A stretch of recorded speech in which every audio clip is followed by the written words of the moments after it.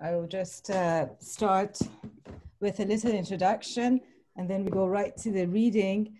Uh, I just ask everyone to keep their mics uh, muted uh, for the duration of the reading. Mm -hmm. And then we will have discussions and question and answers. And for that, I will ask everyone to turn on their mics so we can have a discussion, all of us together. It is so good to see all your faces, all familiar faces here.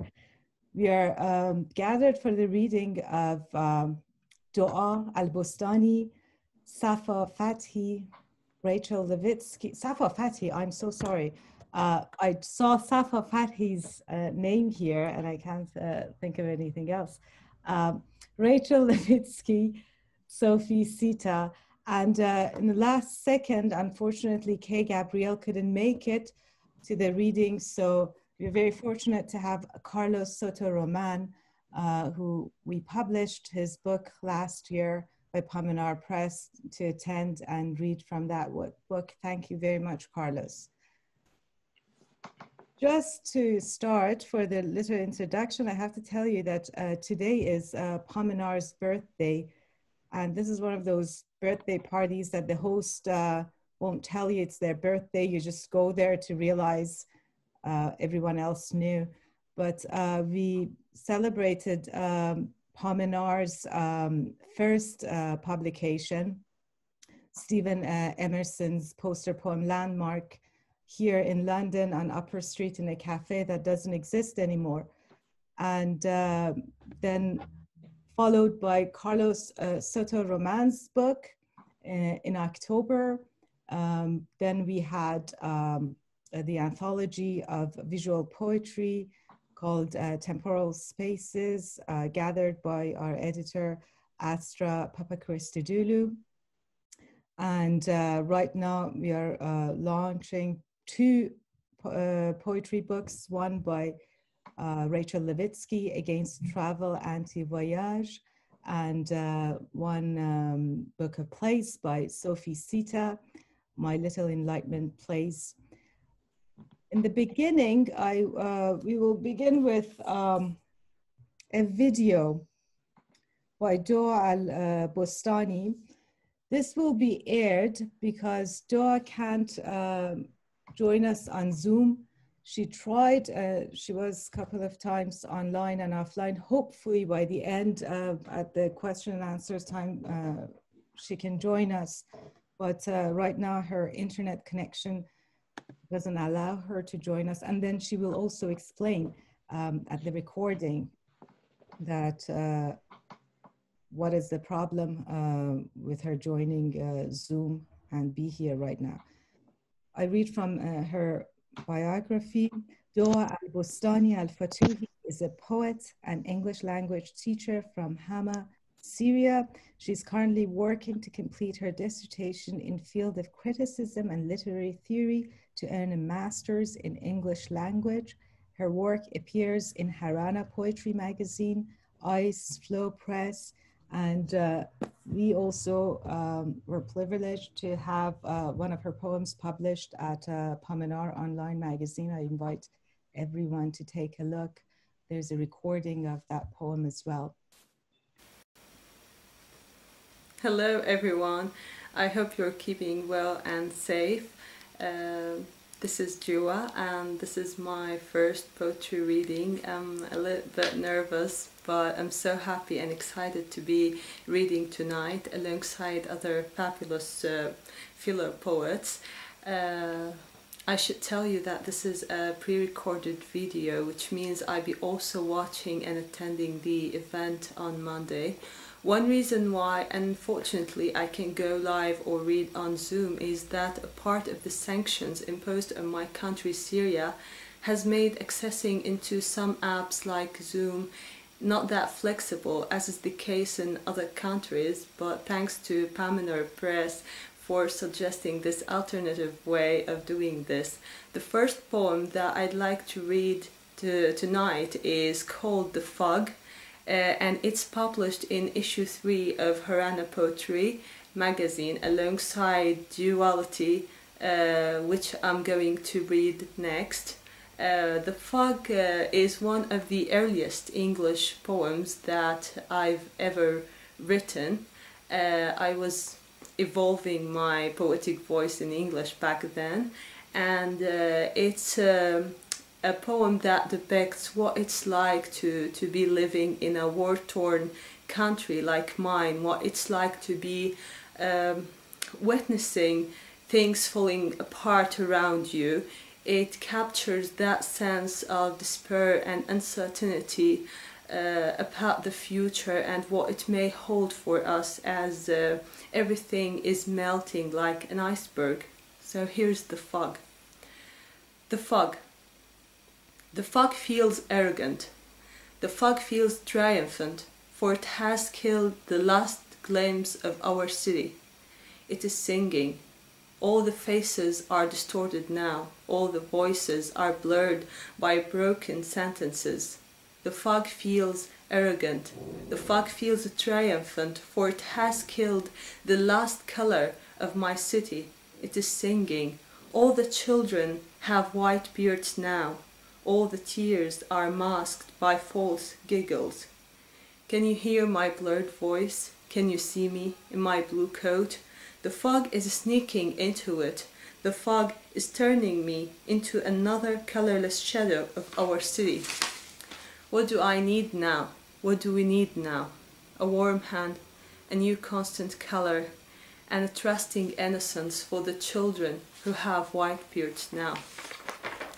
The second poem, the second poem that I'm going to read is Duality. It's a bit of funny and ironic poem that shows the dominance of second language. I think that may sound relatable to second language speakers as we always feel like there are two worlds and two voices inside of us uh, once we master uh, a second language. Uh, I wrote this uh, poem after I'd realized that the English spelling of my name is the first half of the word duality and this is exactly what I feel as an English teacher and as someone who who's trying to write now poetry in English I feel like there are two worlds and uh, to to us Arab speakers uh, our names sometimes consist of difficult sounds and when we have to write the spelling of our names in English, some of these sounds must be altered or must be uh, replaced with uh, another easier one, which makes uh, the whole matter sound like we have a second name. So this is the poem Duality. Since I learned the second tongue, my voice is split in two, one that echoes my grandmother's proverbs another that mimics things strangers say. Since I learned to write the second tongue, the spelling of my name has shrunk from four letters found in dua to three in the second tongue. Difficult sounds replaced with easier ones. You could say my name has lost some of its character and dua has become one half of this strange duality.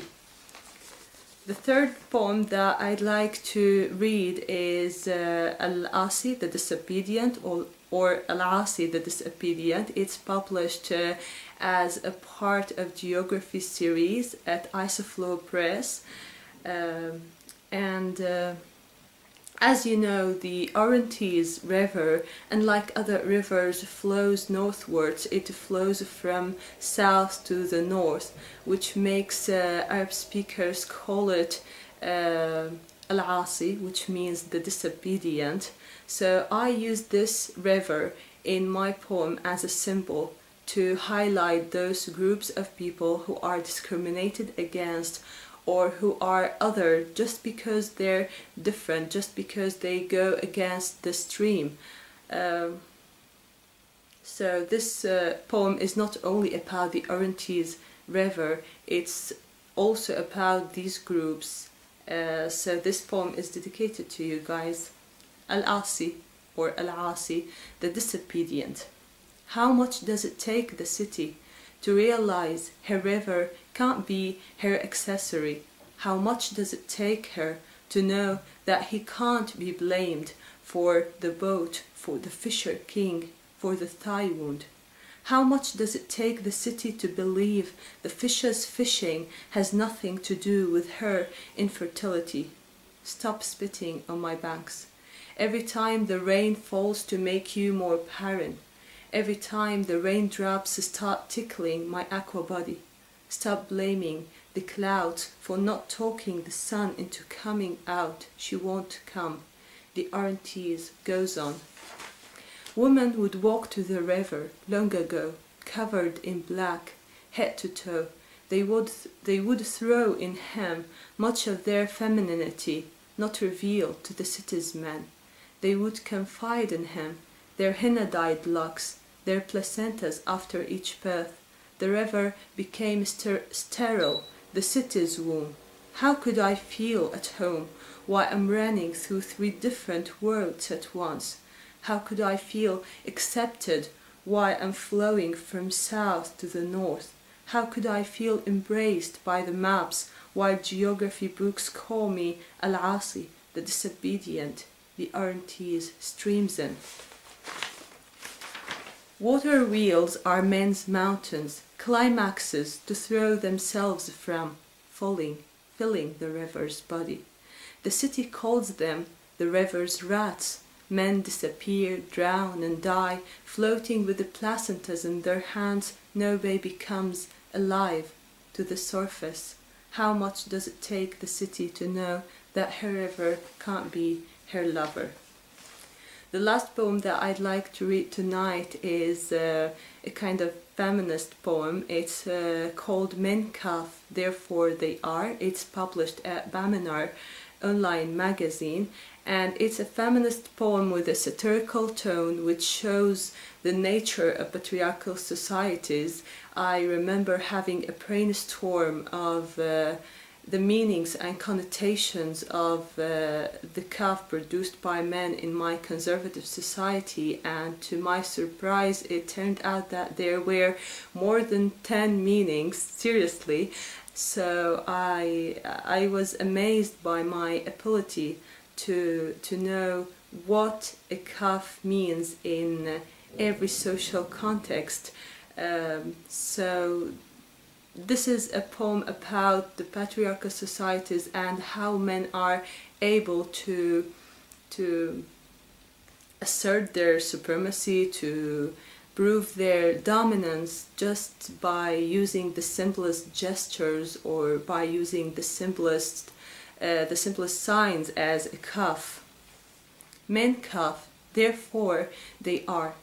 Why do men kaf here whenever there's a woman around? A voluntary sign, a non-verbal communication, or a way to say she's a speck of dust. Their cuff says we are here now. Their cuff says what brought you here. Their cuff says run, we will chase you, but not now. Their cuff says yalla yalla, cover yourself before men come and don't be seen. Their cuff says hide, we will seek you, but not now. Their cuff says we're told to do so. Their cuff says we're virtuous. Their cuff says mind your manners so we can mind ours. Their cuff says we are here waiting. Won't you open your window? Their cuff says Eve, don't lure us. Their cuff says we're done. Their cuff says we have hoarse voices. Their cuff says don't raise your soft voice, don't be heard. Their kaf says, we're behind, watching, step aside, let us pass. Their kaf says, we don't like your talk. Their kaf says, what's your presence compared to ours? A form of absence, men, cuff, therefore they are. This is all I wanted to read tonight. Thank you for attending the event, for listening and watching. I really wish I could join the online discussion again, thank you, Pamenar Press, for hosting this poetry reading. Um, until next time, take good care of yourselves. Don't rush poems because they are going to come at their perfect time. Good. Uh, have a great night. Have a great night, you all. Goodbye. Well, thank you, Joe, and I hope you managed to listen it and uh, be, be able to watch it. Such a strong uh, poem. I'm so sorry that we couldn't uh, air it better, but I'm glad that it's on YouTube and you can watch it again and uh, share it, please. And um, and I really hope that uh, Dua can join us um, in the end because she's she keeps trying uh, connecting on um, on Zoom and uh, as she said because of the sanctions on Syria she's not able to access Zoom. Um, she won't be able to um, directly communicate with us. Well, shame on Zoom and shame on countries who are imposing sanctions on her country. Um, she's writing to me that um, uh, she can't join the Zoom. This is the email of hers just uh, arrived. Plus, we've only had four hours of electricity since I got home at 10:30 a.m., which means the generator could fail me at any moment. So uh, the chances of uh, she being able to, uh, for her to be able to uh, to answer to our questions, are lower. But but I can forward any email um, if you want to talk to her um, about her poems. Well, uh, next, uh, let me introduce Rachel Levitsky and uh, her book that's going to be launched today, uh, Against Travel, Anti-Voyage. Oh, it's white on white, you can't see it, but this is a great book. Um,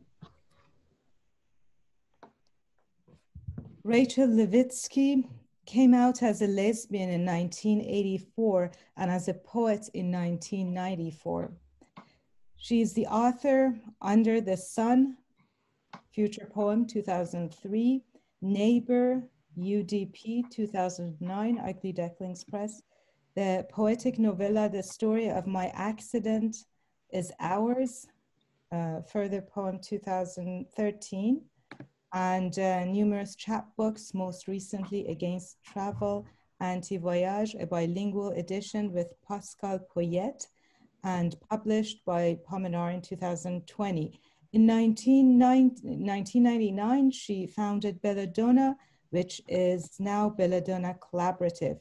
She is professor of writing at Pratt Institute Naropa University's summer writing program, and occasionally at lay poetry institutions like Poets House and the Poetry Project in New York City. More information about Rachel can be found at www.rachellevitsky.com. Rachel. And I have to add that uh, you also will read uh, one of uh, Pascal's translations and uh, Iris Colomb uh, will kindly read uh, another poem in French, the translation of your work. Hi, everyone. It's wonderful to be here. Dua, thank you so much for your beautiful work and your amazing reading. And Sophie, I'm really excited to hear you, and also Carlos. I want to say Kay Gabriel, who couldn't make it here today, is um, an, an incredible activist who was one of the people that created Abolition Park in um, City Park here um, in New York all summer, and is no doubt the the reason why she can't be here is because she's involved in an action. I'm sure about the Justice for Breonna Taylor. So um, we'll get to hear her another time. She's an amazing poet. Look her up, Kay Gabriel. Um, I want to first thank Ghazal and Pamenar, Michelle and Hamid and everyone, Iris, Tessa, all the people, but especially Ghazal. I want to just say that um, this past five years has been a pretty traumatic time for me, um, I, everybody, but um, it began with a lot of incidents. And I, uh, although I've been writing the whole time, it's been, I've kind of had a resistance to collecting my work into a book. And uh, there was a, a, way that Ghazal, by offering to publish this small book against travel anti-voyage, it's just enabled me to just do something and do something in the context of relation and friendship, um, which made it feel doable and it feels great and it's a beautiful book and I love it. Thank you so much. I'm so honored to be with Carlos and Sophie and everybody else that you're publishing.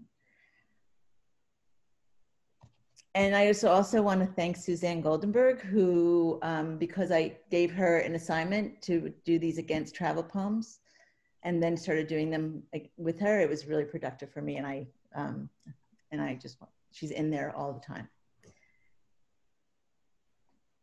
Against travel for Dana. I dream en route from St. Petersburg, Mississippi, to St. Louis, Florida. My vampire lovers are precariously situated in a novel by James Hannaham. More numbers of us are vampires than originally thought. All of us. You can tell by the loose and missing skin of our teeth. Our outfits were cut out skimpily in V's. So skimpy. The queen, who could fly, flew away. From all of it. Maybe I am she. They say I am. I want to say I told you so to one of you in particular. What good does foresight do and who needs it when you are like me, queen vampire, who can, but doesn't always fly away? Yeah, sometimes I stay. I earn a mouthful and keep it to myself, as I am, as they say I am. I think that's a feminist poem. Right. Kind of in conversation with Dua's complaint. Um, of course, it's wonderful to be participating in an international press as Ghazal and Pamenar is just incredibly global. Um, so I will give a little description of what preceded this poem, which is that a couple of years ago in the um, Academy Awards, Oprah Winfrey gave a good talk, gave a good speech, and people were clamoring for her to run for president. Against travel, Oprah, our president, gives perspectives. A little dirt, she says. No, wait, what she said was, it's a catastrophe, but not for me. The neighbors, who were then my lovers, not the ones eating my salted liver, those with bodies upon which I request the steer of your sweetened attention. Seriously, please think about them. You walk down my street. You wonder which of us comes from here, how this all began. Pleistocene, Walmart. Look, exactly. The zeros on her shoes tell you all the parts of her story, more than her rosacea, gnarled hands, the gouged out glass eye. Here's how we do it when we love you in California. Greet the sniper who replaces you. Eat the snails they leave on your outhouse stoop. Air kiss signals abdication or death by condominium. In the canyon, we reassemble broken bones we built the steam room on. An erotic, a mistaken triangulation. And one of the things I'm thinking a lot about is um, small press and um, the decision that so many of us make, or, or many of us make, to stay with Still Press, or or the kind of negotiation between amplifying your voice more, uh, distributing your voice more thoroughly, or being in relation in the distribution of your work. And um, I feel like that's kind of, in some ways, what that poem is about in terms of California and Hollywood and money and etc. Um, okay, so in this next poem, uh, Iris has offered to read the French, and I thought maybe we could start with the French and then go to English. Iris, if that's something that you'd like to do. Yeah. Um, can you hear me? I can hear you great. Can we pin you? Sorry? Can we pin you? Oh, I don't. I uh, yeah. I I don't know. Maybe. Um, I'm pinning you, but maybe everybody can pin you. okay. Uh, so, anti-espoir. Aujourd'hui, nous avons la même dispute. Cette fois, nous sommes dans une pièce avec des gens qui sont à un certain égard plus intelligents que moi. Donc, cette fois, Notre différence me fait me sentir petite. Comment elle a appelé ça? Il se peut qu'elle ait appelé ça triomphalisme, et cela fera très bien l'affaire. Carla a dit que lorsqu'elle parlait d'espoir, cela n'avait rien à voir avec l'espoir dont je dis qu'il élit les présidents. C'est un espoir politique, dit Carla, utopique et semé dans des désirs minables, engendrés par les femmes pour rejeter leur classe et les chaînes de leur genre et couvrir de honte ces quelques hommes bons dans une position qui ne soit pas annihilante. Je n'ai pas répondu à la lettre de Nick.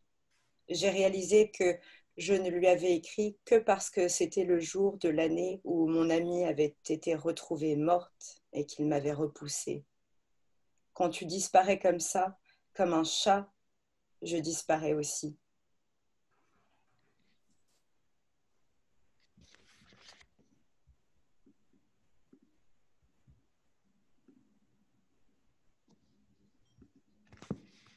Against hope. Today we have the same argument. This time we are in a room with people who are smarter than me in a certain respect. So this time our difference makes me feel small. What did she call it? She could have called it triumphalism, and that will work fine. Carla said when she speaks of hope, it has nothing to do with the hope that I say elects presidents. It's a political hope.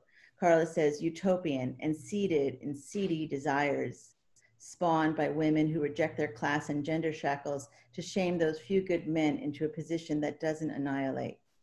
I haven't written Nick back. I realized I wrote him just because it was the day in the year when my friend was found dead and he refused me. When you disappear like that, just like a cat, I disappear too. So there's um, a constant, I, I'm interested in uh, complaint as a speech act in terms of like whether it does something or not. I'd love to talk to anybody about that if they have thoughts.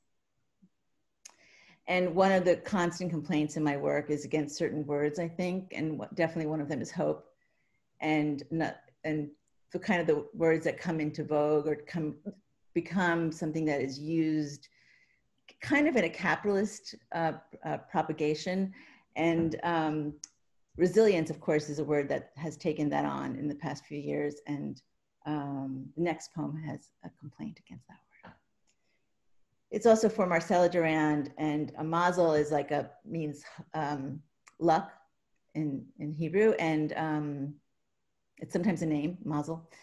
And also, I just want to say it's Yom Kippur, Yom Kippur today, and I always think Yom Kippur is such a sad day. And I have noticed that because the world has been so sad, it's a little less sad on Yom Kippur um, Against Travel for Marcella Mazel. I was reading the pages again. No, the sentences, the words, aware of concentration and the facts, weather and news, and not but, a comma, the transition from event to object, until I wasn't anymore so pointed. My job dumb in a way, not dumb in a way. The only way I want to write about anything is in a poem. The only way to write a poem may be an unpunctuated question. Ultimately, the story. Fuck your, their, our, the, it, her resilience, by which I mean enjoy it while you can. And I'm going to read this one in French because it's perverse of me to read it in French in a way. I've been um, trying to learn French my whole life. And uh, this last six months during COVID, I've been reading Proust to Natalie Rosanes in Brussels as a way to learn French. And it's probably been the most effective thing I've ever done toward my lifelong failure of learning French. Anti-voyage pour Marcella Mazon. Je relisais les pages, non, les phrases, les mots, consciente de la concentration et des faits, temps et nouvelle, et non mais une virgule, la transition entre l'événement et l'objet, jusqu'à ce que je ne sois plus aussi pointu. Mon boulot, idiot dans un sens, pas, pas idiot dans un sens. La seule façon dont je vais écrire sur quoi que ce soit c'est dans un poème. La seule façon d'écrire un poème pourrait être une question sans ponctuation. À terme, l'histoire va te les nuls la faire foutre avec la résilience. Par quoi je veux dire, profite-en tant que tu peux. And um, I'm going to end with a, a, couple of poems that are in other publications um, in the Against Travel series. And um, one is in and I'm gonna, oh, and I just wanna thank Pascal Poyet. I'm so lucky to work with him over the years. He's a, a, a, a genius translator and a genius thinker, and he's got a lot of projects.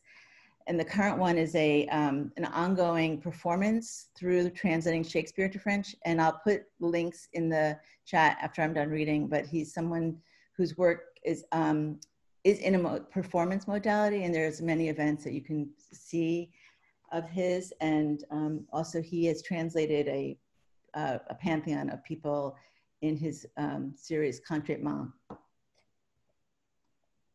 Against travel for Maddie. Money and destruction have a good question. Looking luxurious, typing mournful devastation for all the ones out there. See invention. He who I'll call gay is gayer than expected by which I mean less passing than his love, who I'll call Sam. Sam's a public American, by which I mean United Statesian, where it's hard for him to love to look at his own delection. Sam thanks heavens for the sweetness of a common, his loss of love hum. His sister could benefit from Obamacare and votes for Trump. That could be a headline. We went to a foray, which is a forest meaning trees. We renamed the Battle River. Sam calls the good friend a once short term lover. Gay says they were for 10 years ago go. We drank champagne from the farm. Gay found the king. Sam went under the table, frowned on the glittering crown. Failing song, I took to the bath, my torso in one room, feet in another. And I'll end, and that comes um, out of a wonderful press called Black Sun Lit, um, who in, here in Brooklyn uh, it was a project of Jared Fagen, uh, and the magazine is called Vestige, and the issue is called Lacuna. Um, and this is uh, an ama- was an amazing little book. Back again to the small press.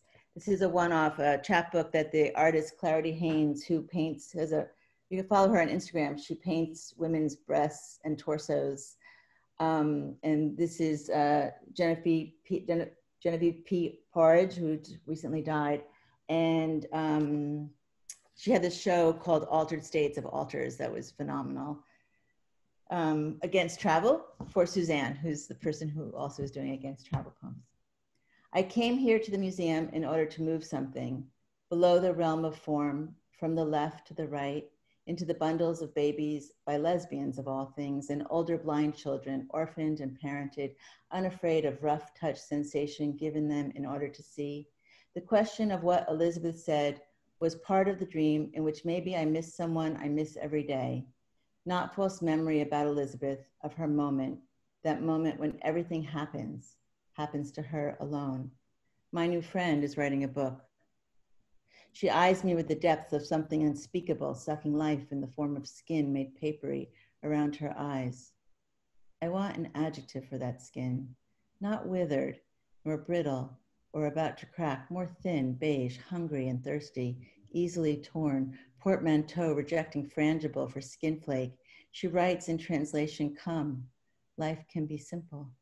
And whether I do or not, want to or not, nothing will change for Elizabeth after all these years, ferreting my books in a language she doesn't like to read for a price she can't really afford, while I'm thinking about how far you are, thinking, yes, life can be simple, full of easy love, the ever presence of cherished bodies that have passed and the ones that as yet haven't. Thank you so much.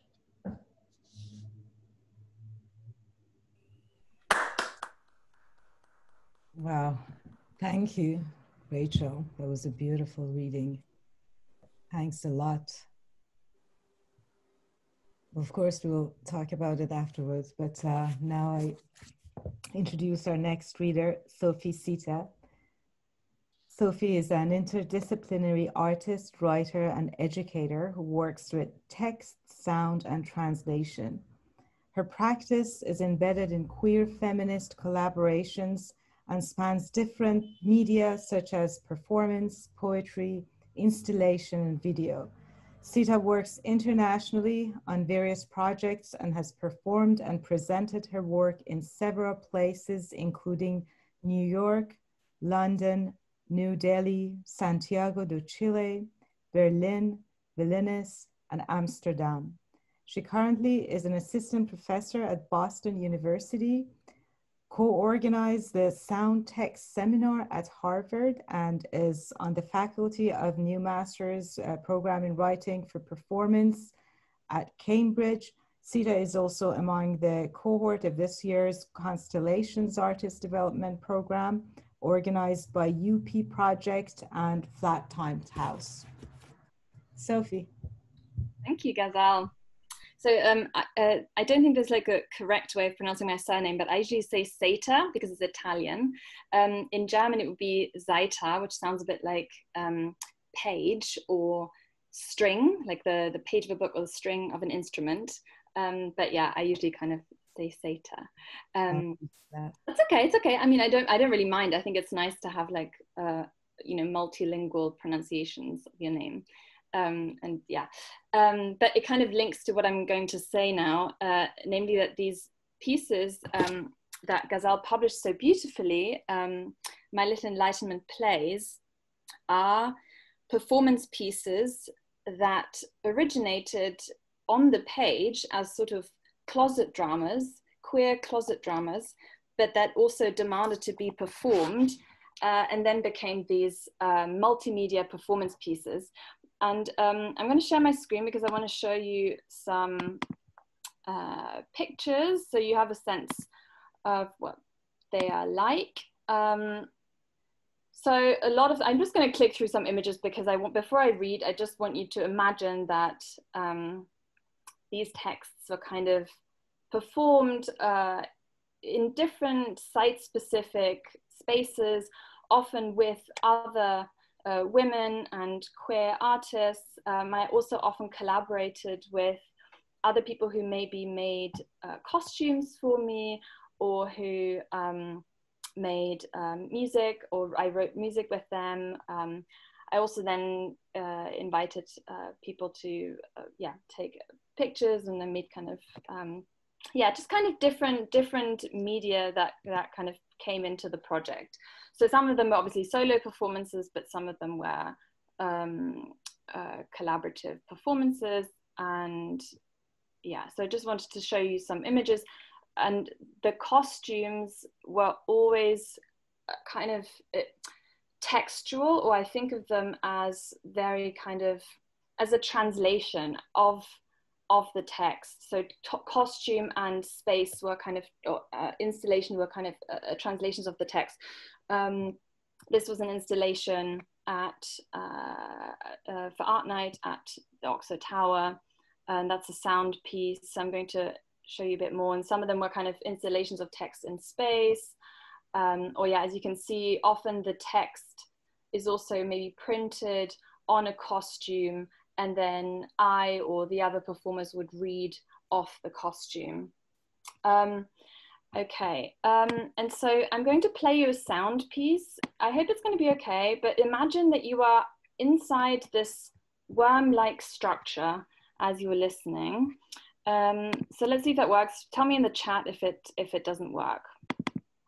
Um, and then we'll see. It's just quite short. Okay, let's see. Scene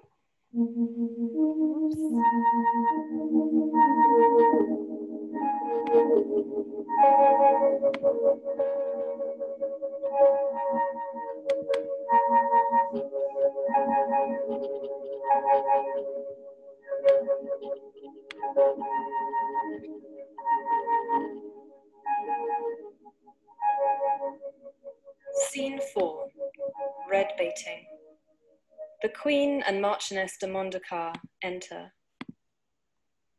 It's clearly the brunt of the environment. Let's be honest, the Spanish Inquisition was a little more stressful. Peace, peace, ladies. Let's not gripe about it. Everybody goes, oh, it's like this or that all the time. The change, the disparity, the conversion rates. Our little brains can tell the difference. There's a predator behind us and around us pretty much all the time. It's cortisol, cortisol. Suddenly, instead of ploughing the fields, getting the potatoes, we have to have A stars. Now that's abstract. That's the way humans function at their best. I think someone here has a little negative tendency. Let's call it nervosité. Do you want to waste energy about it? I'm eaten, I'm out of the game. And then you look around and it's dark and mischievous, and your neighbour's making muffins at three in the morning again, and you wonder, should I do that? They get hit double ways, old chap. Always comes with a little side packet of fear. This is literally killing me. The home is the haven in a heartless world. Hum, hum. Very good. That was your moment of enlightenment. No repose. Let me help you bring your heartbeat down. You need the flesh of another human being. Oh, hard nosed adrenaline. It's a fantastic resource for mums in the home. I've got to rest now. Now, with neuroplasticity, we know we are not a package that just came into the world like this. Why are all these people dying? Okay. And I'm going to read. So this is from um, a piece called Don Carlos or Royal Jelly. Um, and uh, I should maybe also say that all of these pieces are what I have called either imagined conversations or translational tete a tete with Enlightenment writers, thinkers, scientists, and pseudoscientists. So I've basically been in conversation with these different people and played with their words and with mine. Um, and the plays in the title is both a generic description, uh, but also a verb. So my little enlightenment plays is playing like a tune in my head that I can't get out of my head. Um, and um, I'm going to read uh, an epilogue to one of the pieces, uh, and it's spoken by a, kind of deus ex machina figure who comes in at the end of the piece. And this is, I might have some water. This is from a piece called Les Bijoux indiscrets or Paper Tigers. And that plays with Diderot, um, Fontenelle, um, and Margaret Cavendish. So, epilogue.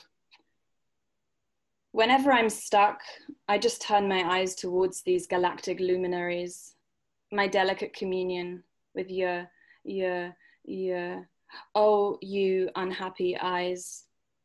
Whether deception occurs when observing the eternal stars is not really the right question, not a favorable flexion of your extraocular muscles.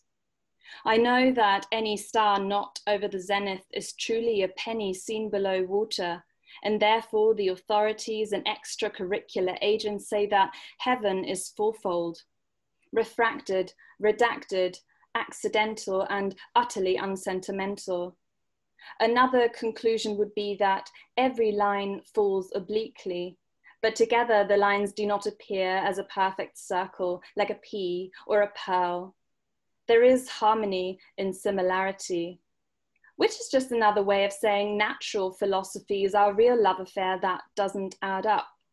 For me, a tugging, wrenching sight is a gift from the firmament in this world in which I don't want anything else except light that is not hung or like a curtain concealed against that nimble seeing, which is theatrical, dramatically structured for blurry eyes.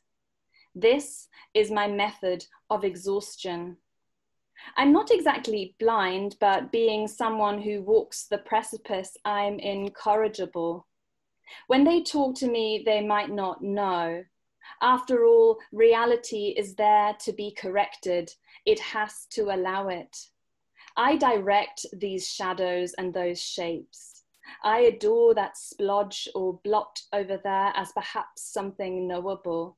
Now, you might think, what sweet palaver. I'm just another who discovers poetry in the flapping of fortepianos, comptometers, dictational earpieces, phonographs, and cryptographs, slopping a little bit of that cerebral sustenance onto tables in the mellifluent bowl of some reverberating celestial vaults.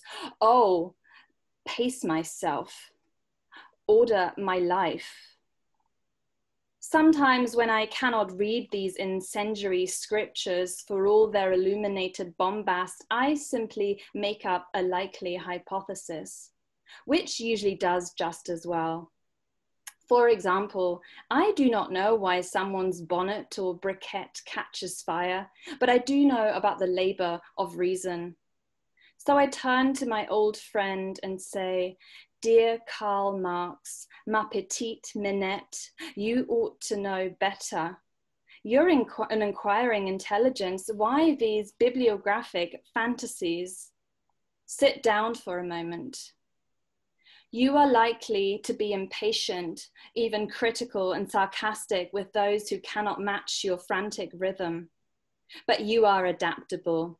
You always think of the future, of action, of objects, because you constantly need to be on the move. Beware, however, not to confuse obstinacy with intransigence. You are happy as long as your mind is in turmoil, and even then, you need to have plenty of people around, people who listen to you, unless you are the one to glean for yourself here and there the intellectual food you are so fond of. And then my friend might say, I have to confess I'm slightly unnerved by this slab of flesh on fire. So I'm just inventing this confessional sinner, driving home the nail into the wall of a curious but detached audience. Come to think of it, this could be a nice little show. Well, dear one, since you are so well trained in stunning movements, I would suggest removing the parapet and coming right out with it.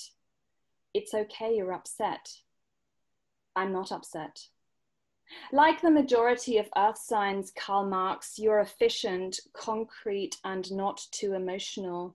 What matters to you is what you see. You judge the tree by its fruits. But appearance and reality are two different things, aren't they? You're a kind of a genius, so it's no big deal. Nobody tires of your company because you are always planning things and suggesting portentous excursions. Obviously, so many movements for one man may scare people off, and some may even criticize your brutality and your tendency to lose your temper. But you are so warm and genuine, so expansive. Isn't that a good thing? Little indication was given of how we were to spend our hours. Weep with us, O Marx, be it said not sadly of us, we have done that which we had to do. O my heart's nonpareil, I would say that space is truly invisibly and indivisibly drastic and therefore touchable. Here's my map of the world, my astronomer's guide in big print. Now let's hear the whole truth before anyone gets into an argument. Look here, I'm just reading from a random page. Well, this is nice. Okay, and now I'm going to play you one more sound piece and share my screen again. Um, let's see. Again, a short one.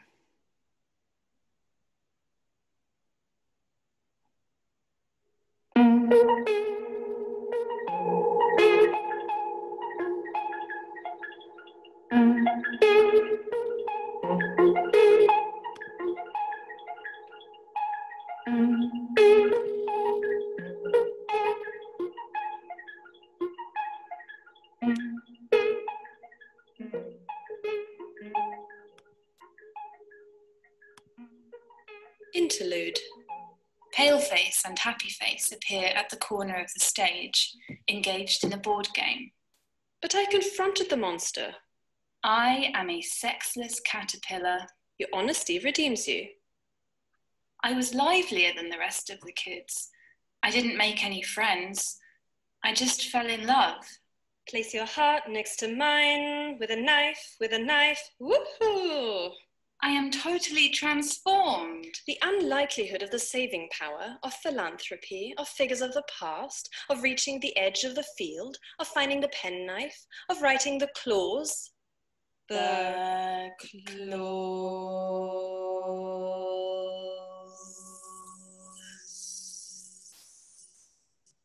Oh, come on. Under my instructions, a snow leopard appeared. Here, in the heat of Spain. All grey, all grey, I carve out the lung in a ripe diameter to sit on it. The field is large. My friends are close. Certain famed missionaries are very influential. Just saying. I feel replenished. I call my allies to action. Let the blood of our hearts ooze simultaneously. Let's lick frantically at the sore, breathing. O Oh, great men, at the edge of the field, women rise and gather. O O great great men, with bags full of projectiles. O great men, you will die. a pantomime. In a moment of exertion, the whole world, its history, its horrors, its elegant incoherence, stretches out before the gathered minions, sycophants, coaxers, and cajolers, all courtiers and high-born caterpillars. And then, in another moment of radical beauty, shudders, collapses, folds, like papier-mâché turrets, quailing.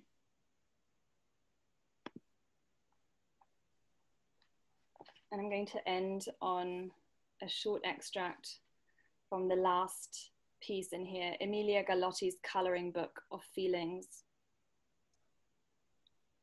Making the world the persistent proof that forces do exist, that encounters do matter, that the shuttling of one's little poetic intensities make little impingements upon the eye and ear, and lo and behold, maybe even the ever fretting heart. Feeling arises out of some momentary, sometimes prolonged and crazy resonances passing between minds, between bodies. Feelings at their most obstinate refuse the rhythm of mathematics. Sometimes they float alongside comprehension and dates and formulas, viscerally eloquent toward the extrusion of thought. So, bodies exist. They make lateral choices, their innards shimmer, which is the task of the translator to bring out the shimmer. For example, if you stretched that left arm or that right leg, you'd become unrecognizably body. Or more prosaically, you'd fix an itch, adjust some muscular tension. And then we could all go for a good glass of sherry and say, There you go, now we know what this body, this language can do. What a lovely day. But then you discover a freckle and another and another and another, and it's unforeseen lockstep, you'd step into some generalizable theory of knowledge.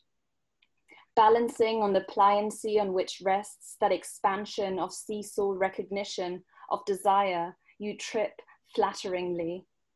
A body hitched to the tenderness of an imagination.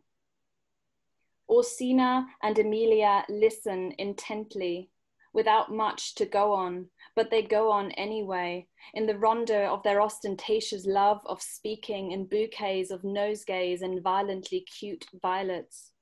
Maybe someone tells them calmly, it's bedtime, and holds up the don't worry, just relax card. Maybe to assert just that, no frills. Is this it? They shush, shush in shattering daintiness, our mutually crystallized caprice. And the magister takes their temperatures soothingly in order for the less cushy dreams to be plucked or retired. It's one or the other, he murmurs, gently tipping the mercury out of its thermal equilibrium. And so the hoppiness of their trampoline liaison is yet to be experienced as more than a reflection. The colors of the world are already bouncy, and the weather is exactly right for everything to be afloat with fizzings and bridges for an impossibly tangled state, to realize that their subjective reading of their own subjectivities is the stuff for ordinary matterings, like accidentally breaking the porcelain commonplaces, and to conclude better to have a decent cup of tea first than to pause for some flickering and before you know it, the launching pad for their not so secret coloring adventures is getting sticky from nonchalant use in too much or just not quite enough sun. So, thank you.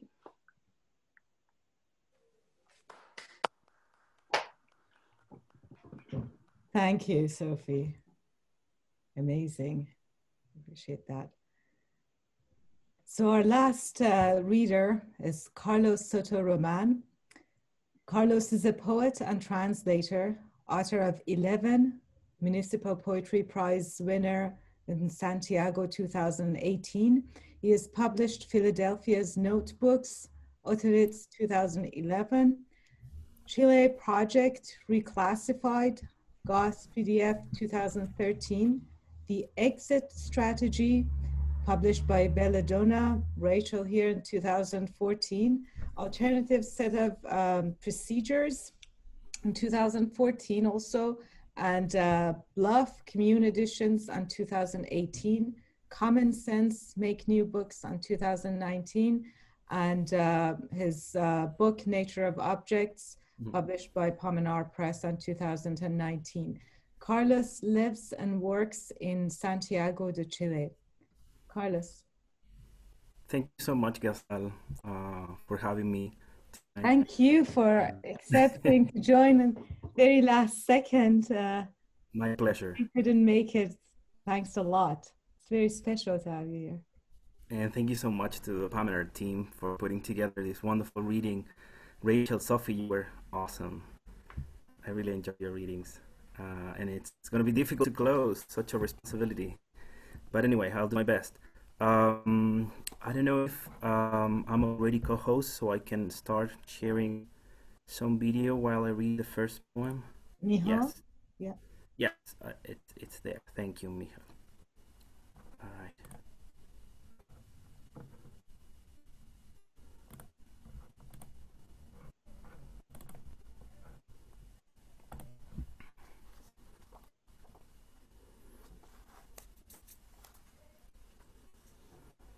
Tratas de percibir este silencio.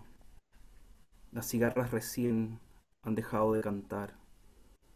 Ahora caen muertas como meteoritos, una a una.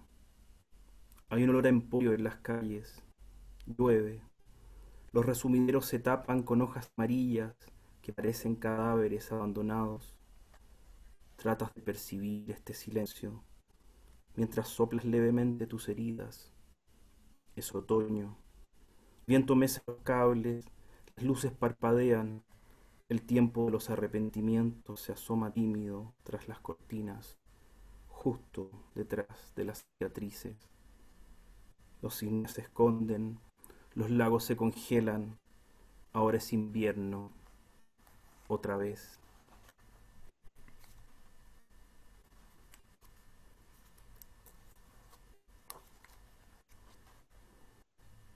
You try to perceive the silence. Cicadas have just stopped singing. Now they drop dead, one by one, like meteorites. There is a flea market smell in the streets. It is raining. The drain clogs with yellow leaves that look like abandoned corpses. You try to perceive this silence while you softly blow on your wounds.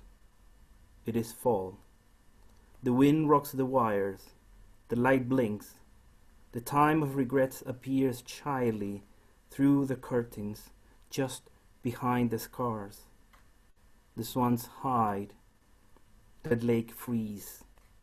Now it is winter again.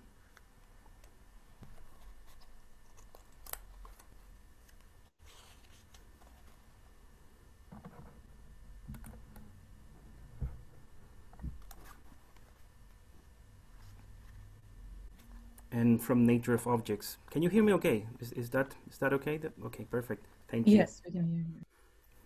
Okay, the second part of the book uh,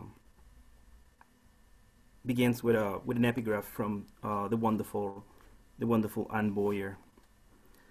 I am leaving the bay and it breaks my heart. Please don't forget or let me forget. Not the silence, but the space between the objects. Not the space, but its emptiness and its echo.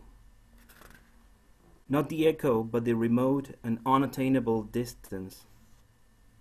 Not the distance, but the movement and the absence. The eye is not a mirror, it's not a window, it's not a glass. The eye is just a prank is just a spring lock. Blood doesn't run, just stagnates. It comes together and it curdles slowly. A word is what is unsaid. What we don't say is different what we don't want to say. What we should know, what we should ignore, what we should forget. In Spanish, the H is always silent. In Spanish, the is not the leaf nor its color, but the way it falls. Not a flavor, but a texture instead. Goodbye to the void, to the distance, to the wind. Adios is just the same but from the other side. Don't you ever forget about that. Open your mouth, stick your tongue out, show me your teeth. Hold your hands out with your palms towards the ceiling and fingers wide.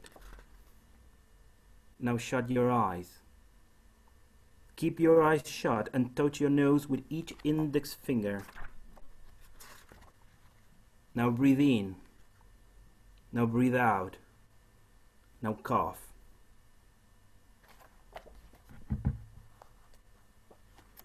Try writing a eulogy without sadness. Try writing a sonnet containing everything and at the same time nothing. Try writing the book of a book, the book of many books that don't exist. Try to know the nature of objects. Try to seize the means of production. So what is the opposite of the void? Sways and shatters the pedal of an old sewing machine. There are no drawings, just words.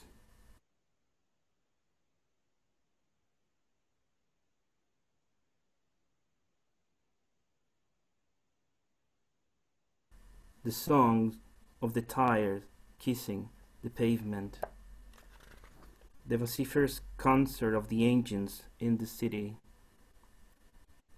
It's not about the benefits of silence, but on the harms of noise. And how about every single night my ears bleed? For Saramago, blindness wasn't complete darkness, but absolute white. While in the West, white is the color of innocence and purity. In the east, white is the color of mourning. The truth is, I don't know how to write a love poem. Honestly, I don't even know what that word really means. Freedom is not free. Such is the nature of our acquaintance. A lot, a few, nothing. The alphabet is a random thing. A comes before B just because. All literature is made of constraints. In literature, all failures, all mistakes are just the same. Achievements, instead, are all different. Who must and who mustn't inhabit the world? What is the difference between cure and treatment? Poetry is a disease, and the antidote for poetry is more poetry. The language, the words, hurt. Poetry is not a symptom, but a sign. I don't know if I can do another year of dishonesty. Things happen too fast for poetry. Whatever it is between you and I isn't imaginary. I know you are here somewhere. This object has been removed for conservation. We're sorry, the page you're looking for doesn't exist. Please try again in 30 seconds. Access has been denied. Good luck and good night. This forecast for London and vicinity will be discontinued on September 28, 2020. This forecast for Brooklyn and vicinity will be discontinued on September 28, 2020. This forecast for Cambridge and vicinity will be discontinued on September 28, 2020.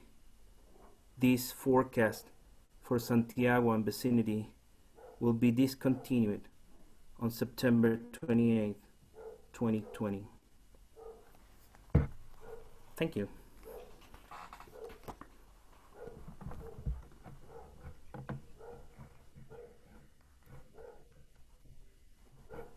Thanks a lot. Wow, amazing. So, thank you, Carlos, and uh, thanks for to all four readers of tonight: Sophie, Rachel, Carlos, and Dua. I can't see Dua, so unfortunately, I I think um, she never managed to join us uh, afterward for question and answers. But now I ask everyone to unmute um, their Zoom. And if uh, there are any questions, any comments, you can also uh, write it on the uh, comment box and the um, chat box and I read it loud. But if you also want to ask something or join the discussions, please go ahead, unmute and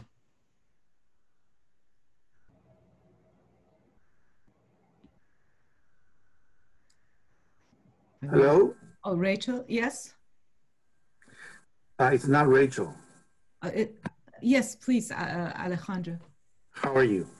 Thank you. First, congratulations for the presentations. And I would like to to ask to, to our Chilean friend, how does he navigate from Spanish into English?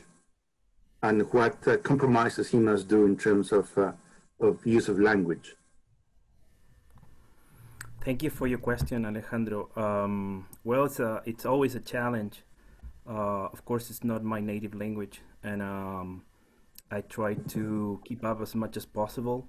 I used to live in the states. I spent uh, a couple of years there, so I guess that is when I felt more confident to start writing in, in a different language, to write uh, in English and to read aloud.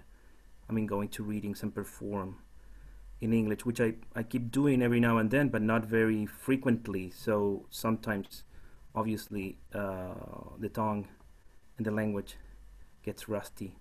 Um, but um, I don't know. I guess uh, those years there and all the readings and all the people I met, uh, all the wonderful poets, and, uh, and, and, and, and, and that work that I, I try to manage to keep up. I mean, to try to to to read as much as I can from the new things that are being published. So uh, try to keep myself updated on that front. Uh, keep uh, influencing me and keep encouraging encouraging me to uh, keep doing this thing. You know, uh, I've also had have been lucky enough to to travel. Well, last year I, I was in London presenting this book. Um, with Ghazal and some friends, um, which was a very um, special moment because I mean in Chile we had like a uh, a difficult time uh, exactly those years and uh, So uh, it was really nice to be able to perform with Chilean friends in London and to respond from the distance to uh, what was going on here. So yeah, I, I think that that's all I can say. Thank you for your question, though. Pleasure. Uh, Alejandro, you yourself write in many languages, as I'm aware of. Uh, how do you manage that? Well, I, I, if you, I imagine that if you are, if your language is French or, or Spanish, there are some poems that, uh, uh, and, uh, that have shaped us, have uh, given us uh, these uh, tools, because a poem always opens a window for you to see the world. So in that case, I find that um, there are texts that can cannot be translated. Read, for example, the Spanish, the English translations uh, of Neruda, or I remember, in, I remember we were reading a translation uh, by uh, uh by uh, Roberto Bolaño into English, and there was a word "correrse," which the translator translated as to run away or to move physically but in, in Chilean language that in, in Mexico, because he grew up in Mexico, that word meant something different. What I mean is that uh, when you, I, I, I, know if Carlos and, and, uh, and also Sophie and those who read and write in French would agree, but each language has its own music inside of you. And I, I assume that if you would write, if you be a writer in, in Farsi, the way you would describe uh, the, uh, a tarragon or the way you would describe uh, how, how you see the light will be different uh, in the same scene with, with, with the tools of another language. And I think that uh, basically that's, I think we are, we allow ourselves to be inhabited by languages. And that's the only way that a, a poem then a text will demand from you, as the, the, the language, the text you're going to write imposes the choice of language. Uh, in, in, I live in Montreal and uh, as many parts in Europe too, it's quite frequent that you work daily uh, in two or three languages, if not more. So I think that uh, Italians and French and Spanish authors, please uh, support this idea.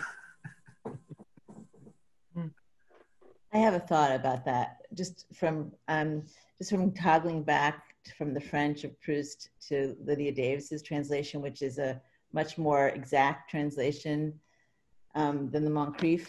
And there are passages that I read, and I'm like, that was really beautiful. I think I don't think I understood it fully, but it was really beautiful. So I'll go to the to the Lydia Davis for the whole passage, and I'm like, that's just not happening here in English. Like whatever there was going on in French, like none of its meaning is happening. It's not because the translation is not perfect. It is, but um, I just wanted the short thing I wanted to say in res- in response. My feeling was that in that experience, I feel like there's a way that the that the that the inability for the other language to hold what was happening in the origin language feels in my experience, my current experience in toggling like a kind of a almost like a, not even like a disappointment, but more like a bruise. Mm. It's a, like a little bit pummeled, like like the the being that comes out in the language that can't hold it is like a bruised, pummeled being. I would like to hear uh, Rachel or any of the other poets and writers talk about how Rachel's thinking in Against Travel pushes against this conversation or opens out this conversation in relation to translation. Also, given that none of us are traveling right now, how that thinking affects what you read today or perhaps what you heard from the other poets? Thank you for your question. Thanks, exactly. I mean, I've, you know, I didn't go to uh, London for the opening for the book party for the book release because but because I left Paris to come back to New York because I knew there was going to be a shutdown. I left on March 15th. and um, and so the irony or the the echo of the the title and of the work did not escape me. And but it's so much of the work against travel is really about um, for, I mean, like the notion of against travel for me is uh, is in some ways captured in Alejandra's question, which is that the or like the notion of like like the ability to, for one to do a map of the world. If the, if the world is what one wants, it's probably not travel that is singularly how one gets it. That's one thing and also that um, that what we're looking for when we travel is probably in addition to it being ex- of the world and problematic in terms of footprint et cetera it's probably it probably escapes us what it is actually we're looking for so there's all kinds of like a, a rub but also for me the against and against travel is both um, contra and anti and also together with like you and you're rubbing against something.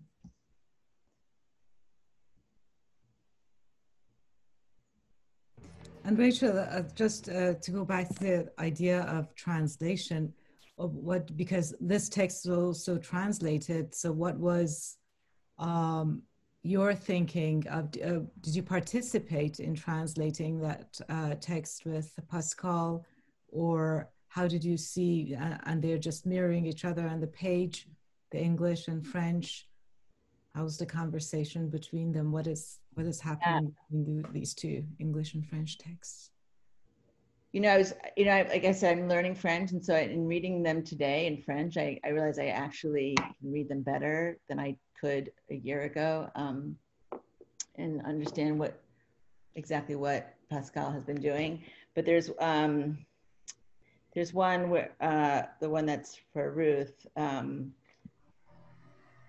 um, in which there's a line, um, yeah, no reconstruction of some eternal shiny city of anyone's dream. It's just a shitty interior wall.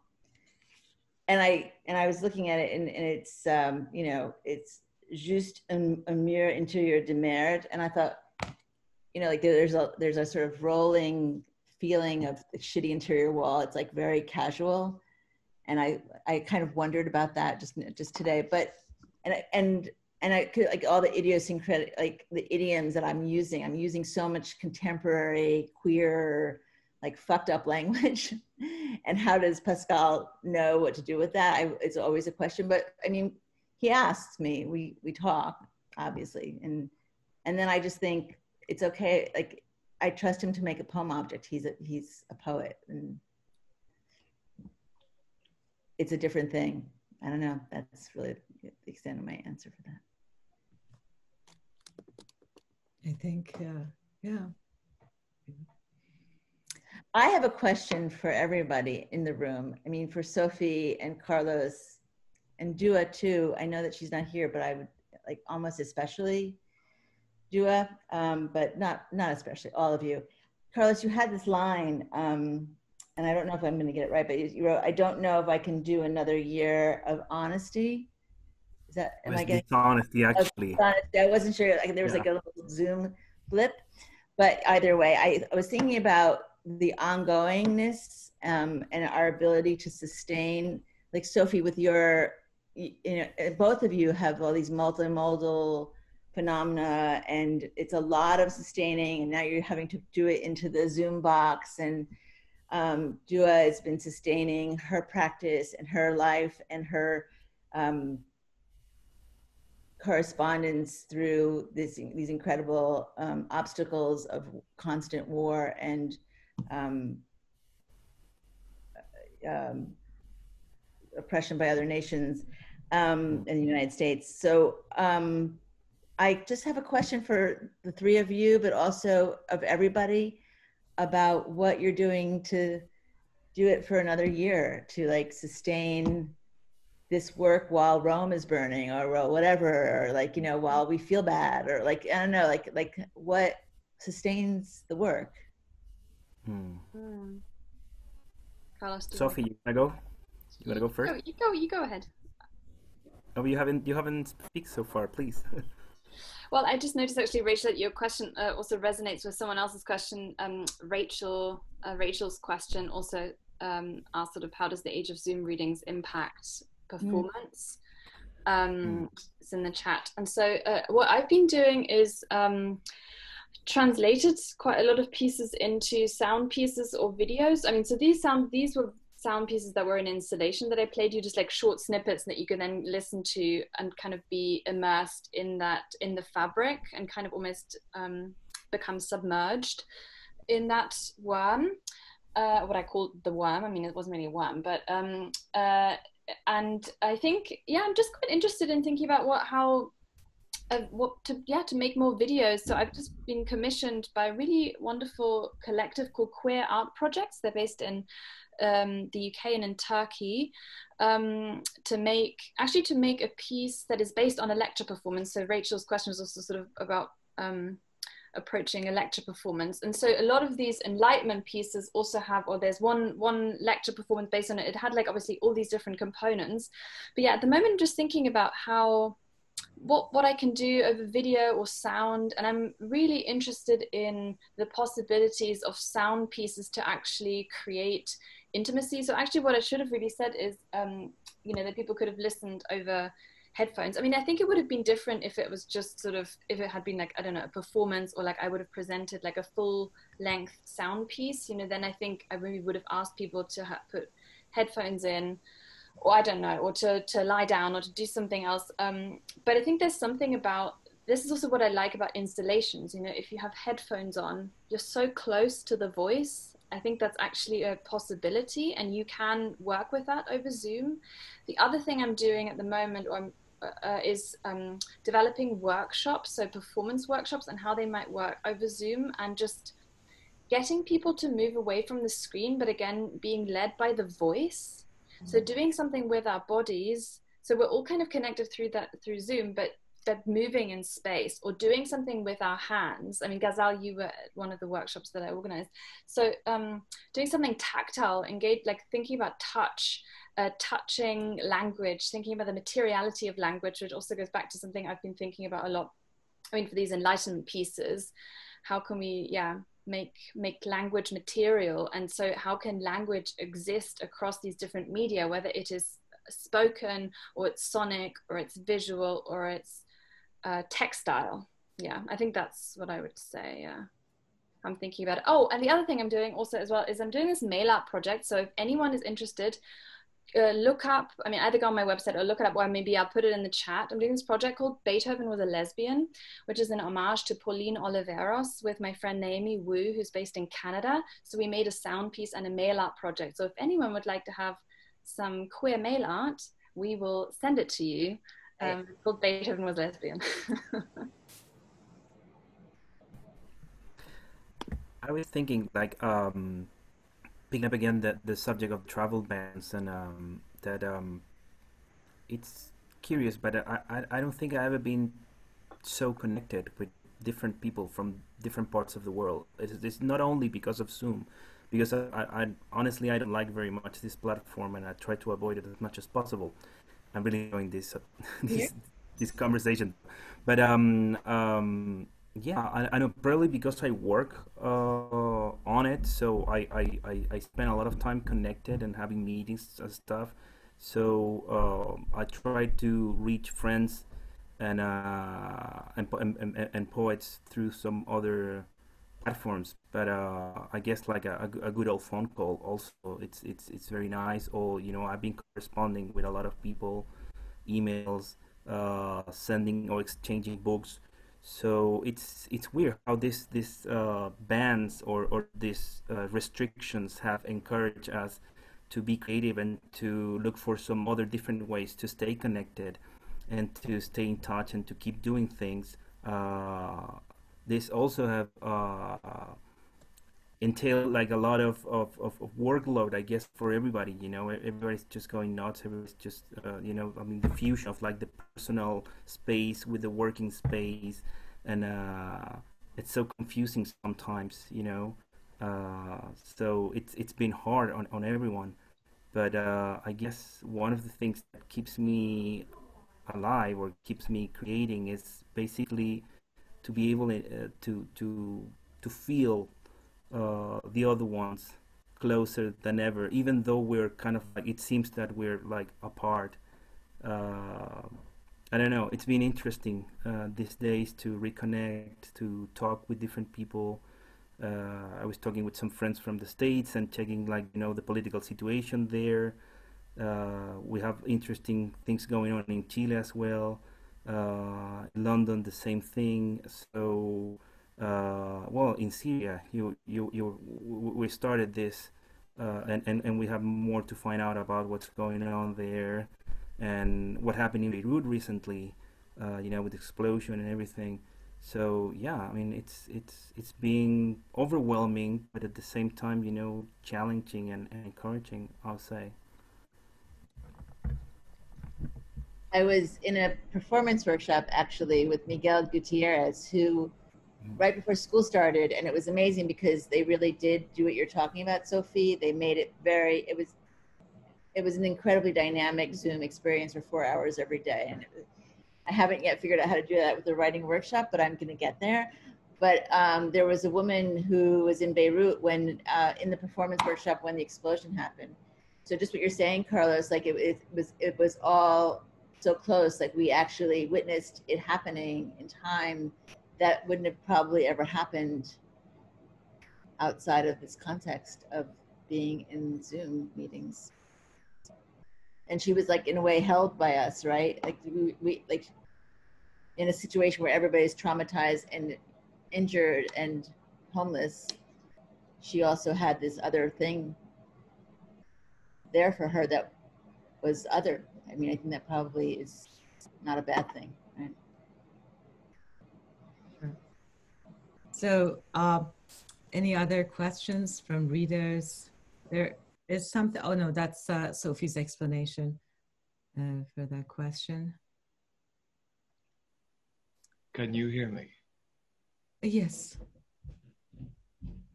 Hello? Hello, ladies and gentlemen. This is Noxem. I don't necessarily have a question, but just a very brief statement if you will hear me. Go ahead.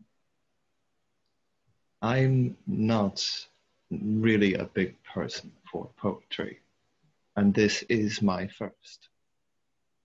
And I have to say, I'm quite glad to have listened to all of the speakers. They had much to say through their poetry, even though they were not quite finished.